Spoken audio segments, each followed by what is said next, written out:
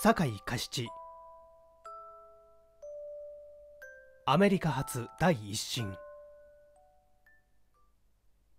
1大日本帝国。神戸市二宮警察署。外事課。木原三郎君。船は今荒れ狂う太平洋の真ん中を東に向かって走っている。詳しく言えば僕の乗ったプレジデント・ルーズベルト号は東経150度北緯50度の体験航路をシアトルに向かって航行しているのだ。夜の10時横浜を出てからずっと気狂いのように荒れ続けた海も今夜になってから幾分ないだ様子だ。しかしいまだこの航路独特のうねりが2万8000トンの巨船を木の葉のように振り動かせている。外の嵐に引き換えて一種ものすごいほどの静けさだ。時間が遅いのと海が荒れているのとでこのライチングルームにも先客の姿は一人も見えない。船の減速を越えて甲板の上へ落下する波の滝のような響きと全能力を挙げて荒れ狂う海と戦っている機関の音とその振動のみが船の中全部を占領している。明日の朝になればアメリカのエアメールゾーンに入る。そして11時にはシアトル郵便局のメールブレーンが郵便物を釣り上げに来るのだ。僕はこの手紙を同便に託す。そうすれば船がシアトルへ入港する前にこの手紙は僕のアメリカ初第一審として横浜行きの船で日本に向けて発送されていることになる。2僕はこの手紙の本文にかかる前に君の注意を引いておかねばならない。今までに僕は小説のような手紙を書いたこともあれば手紙のような小説を書いたこともある。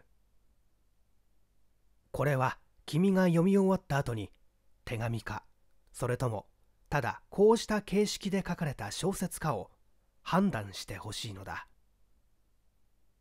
君はストローム氏自殺事件を記憶しているだろう。当時市は僕の勤めていたヘーグ商会の支配人であり君は二宮警察署外事課の一員として自殺現場の検証にも立ち会ったり僕からも参考として死の日常等について聴取したりしたのであるから事件の詳細を覚えていることと思う。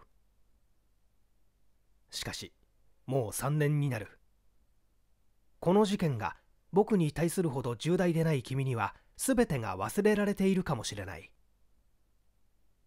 もしそうだとしたら君に記憶を食ってもらうまでもない。事件の対応を記しておこう。時西暦1930バツ年6月12日。ところ神戸市山本通り4丁目16番地。人罰国人。当時神戸市江戸町93番館。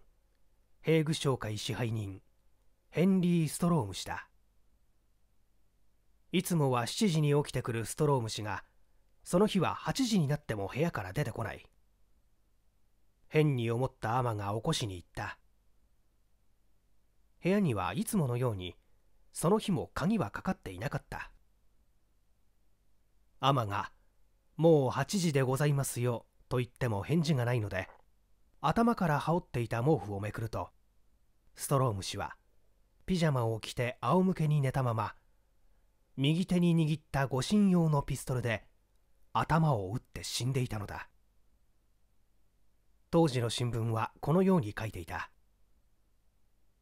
事件は直ちに二宮警察署に急報されてバツバツ二宮警察署長外事課から君そしてバツバツ裁判所の検事等が現場へ出張。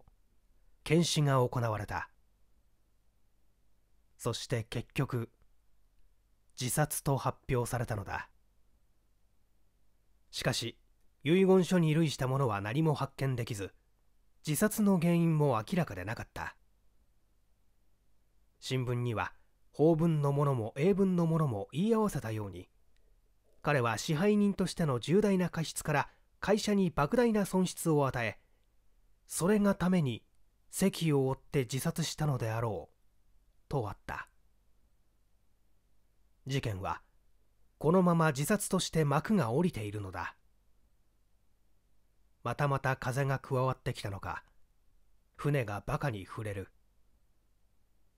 波の音とエンジンの響きが静かな船の中をものすごく響いている。3ストローム自殺事件の1週間余り後に君と2人で元町のカールトンバーで飲んだことを覚えているか？話がたまたまこの事件に移って他殺の疑いはないのかい？と僕が聞くと自殺とは断言できないかもしれないが実地検証の結果では少なくとも他殺と思わせるような物的証拠は何一つも発見できなかった。と君は答えた。しかし僕はストローム氏のそばで23年も働いていたがあの人は自殺をするような人じゃない。と反駁するとそんなように思われている者が案外自殺なんかやるもんだよ。女房ももらわずに一生懸命に働いていれば気も変になるよ。君は簡単にこう言った。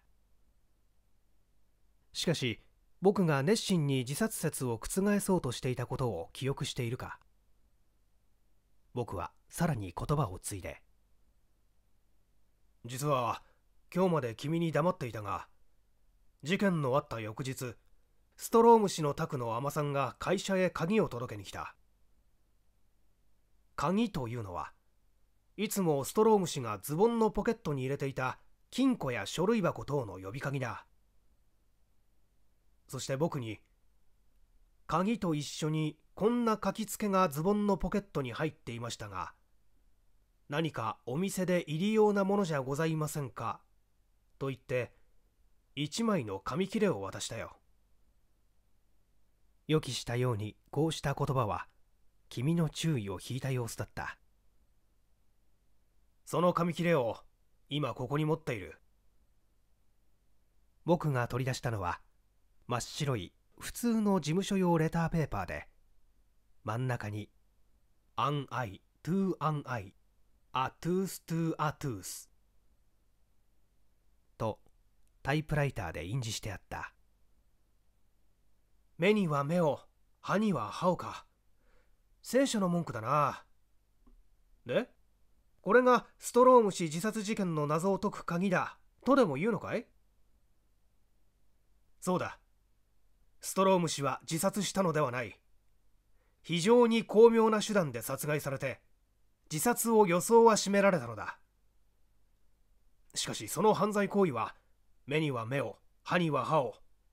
すなわち復讐を意味するもので犯人がそういうことを誰かに知ってほしいためにこうした紙切れを残していったのだ。そしたら君は何も言わずに声を立てて笑った。だが僕は真面目にそう考えていたのだ。それで翌日から僕はあの紙切れの研究に着手した。4君も言っていたようにストローム氏自殺の現場には他殺を思わせる証拠は何一つとして残っていなかった。それほど巧妙に殺人が決行された。したがって犯人が故意に残していったこの紙切れには何らの物的証拠は残されていないと考えるのが至当だ。僕は指紋の有無や紙質の研究それに印字するために使用したタイプライターの探査等は一切無駄だと考えた。そして全然異なった方面から研究を始めた。僕は第一にこの紙切れに印字された。an eye to an eye a tooth to a tooth の文字一字一字を詳細に検査して陰気の濃度を調べた。そして次のような数字を得た。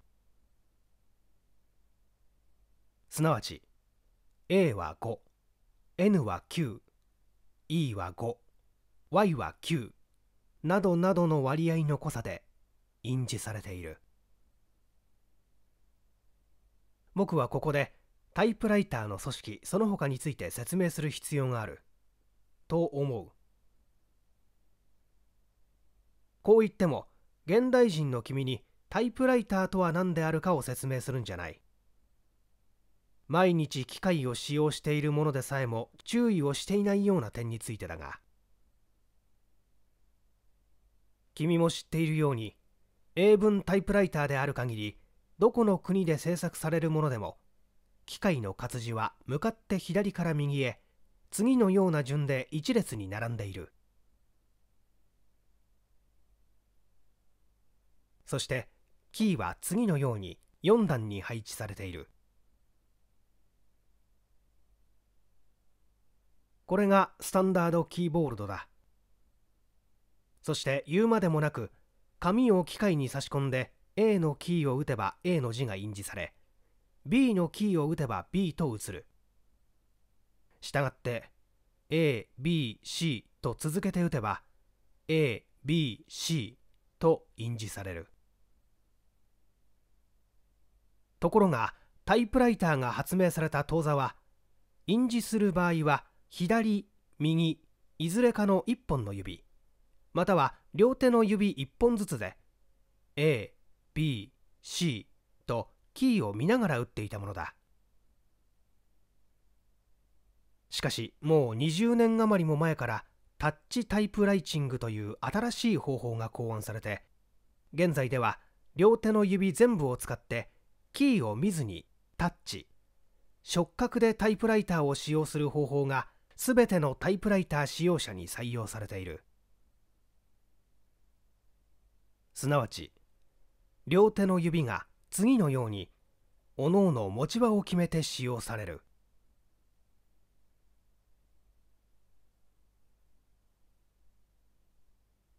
それで ABC と印字するには左手の小指で A 右手の触手で B 左手の触手で C となる。ところが文字一字一字の陰気の濃度はキーを打つ場合の指の力の強弱に比例して異なる。言い換えると3の力で A のキーを打つと3の濃さで A が印字され10の力で B のキーを打つと10の濃さで B が印字される。次にキーを打つ指の力だが両手の指の力が全部等しいものはありえない。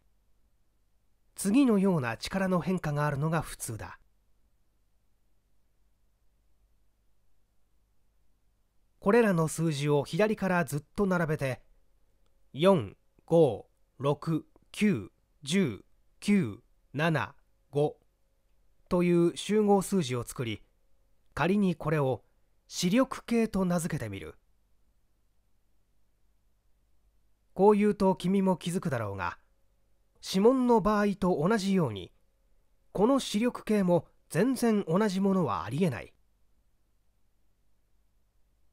前期の視力計をある男 A のものとすれば BC D3 人の視力計は次のようなものかもしれない。そうすると図の視力計を有する BCD おのおのの印字した AND の文字は次のような陰気の濃度で印字される。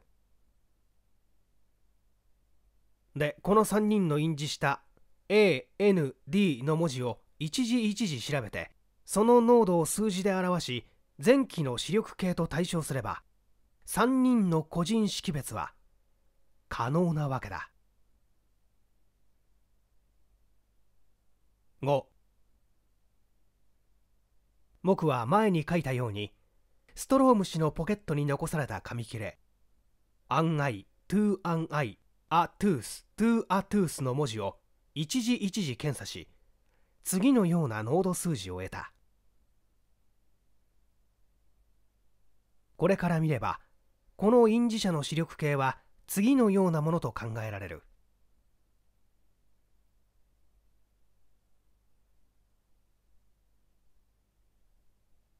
以上でストローム氏殺害犯人と考え得る人間の視力系が不完全ながら発見されたわけだ。指紋法で言えば犯人と目される男の指紋発見にほとんど成功したわけだ。次の仕事は。この視力系に等しい視力の持ち主を発見すればいい。僕の勤めていたヘーグ商会の地方部には在横浜大阪神戸等々の種々の会社から受け取った手紙がレターファイルボックスに保存されていた。これらのタイプライターで打った手紙には後日の責任を明らかにするために印字者の頭文字が打ってあるものだ。だからこうした手紙を一つ一つ調べていって前期のものと同じ視力計を発見した時には同時にその手紙の発信会社とその印字者の頭文字がわかる。6僕はこうした方法で犯人を探査し彼に面会した。僕はこう言った。私はあなたがストローム氏を殺害されたことを知っています。しかしそれには非常にデリケートな理由があると思います。私は貴君からその理由をお聞きして私一人で陪審したいと思います。そして理由によっては私たち二人して事件をこのまま葬り去るかあるいは貴君に自首をお勧めするかどちらかに決めたいと思います。彼は何の答えもしなかった。僕は黙って「An eye to an eye」「A tooth to a tooth」の紙切れを取り出して彼の前に置いた。これは貴君がストローム氏殺害後に現場へ残してこられたものに相違ありますまい。貴君はストローム氏を殺害されたのと同じ巧妙さでこの紙切れから全ての証拠を除去されました。しかし私は私の新しい研究であるタイプライター印字書類による個人識別法であなたがこの書類の印字者すなわちストローム氏の殺人犯人であることを発見しました。しかし素人である私が何も好き好んで探偵の真似をしたり貴君に自白を迫ったりしているのではありません。ただ。1この事件の被害者が私の主人であること。2私の研究によってのみその殺人犯人を逮捕しうること。そして3もしその殺人行為があの印字された文句のように目には目を歯には歯をであればこの事件を永久に自殺として葬り去ってしまいたいこと。などの理由で貴君とこうしてお話ししているのです。僕がこう言って話しているうちに彼の顔色はだんだんと青ざめていった。がやがて彼は目を閉じて語り出した。7私がどんな方法でストローム氏を殺害したかについては語る必要はありますまい。綿密な計画と周到な用意と思ってすればああした殺人は容易ですからね。ではなぜ殺したかについてお聞きください。私は妻の復讐をしたのです。彼女はストローム氏に恥辱を受けそれがために自殺しました。話を進めます前に私と妻そして妻とストローム氏との関係において簡単にお話しせねばなりません。妻はシアトルで日本人の両親の間に生まれたいわゆる第二世でした。小さい時に異国の空でと言っても彼女の生まれ故郷なんですが両親に死に別れて一人ぽっちで働いていたのです。私はあちらで苦学中に知り合いとなって結婚して日本へ帰ってきました。私はバツバツ商会に。そして彼女はある外国商館に勤めました。その会社の主人がストローム氏だったのです。ご存知のようにストローム氏がヘーグ商会の支配人になる前のことです。妻は彼に言い寄られました。そして前に言ったように彼に恥辱を受け自殺したのです。私は妻の復讐をするために彼を殺害しようと決心しました。しかし妻の敵を討って自分が公主台に上がる必要はないと考えたのです。で私はご存知のようにストローム氏を殺害して自殺を装わしめました。彼を殺すことは正当なことだと考えました。今でもそう考えています。しかし世間の人を自殺事件として欺き去るのは罪悪だと考えました。私の考えは間違っていたのかもしれません。しかしただ一人にでもストローム氏は自殺したのでなく殺害せられたのだ。しかし正しい理由のために殺されたのだと思ってほしかったのです。こうした理由で私はあの紙切れを残したのです。彼の話は終わった。僕はただ一人の陪審員として彼が有罪か無罪かを考えた。そして結局無罪を宣告した。よく話してくださいました。私はストローム氏は自殺されたのだと考えましょう。そしてあなたの低粛なご婦人の冥福をお祈りいたします。僕はこう言って彼の手を握った。8僕はストローム氏の殺人犯人に事件の真相を発表しないと約束した。だがこの手紙を君が受け取る頃には彼は死んでいるはずだ。だから僕のこうした行動も彼は許してくれると思う。彼を乗せたプレジデント・ルーズベルト号はあさっての朝シアトルに入港する。町外れの共同墓地には彼の妻の両親が静かに眠っている。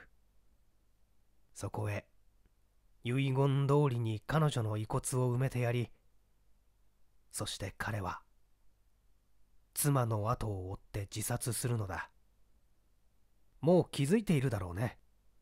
これは僕の自白書だ。したがって彼という第三人称で言い表したストローム氏殺害犯人は僕自身であり僕という人物は僕の創作した人間だ。全ては解決した。ではごきげんよう。さようなら。9手紙は以上で終わる。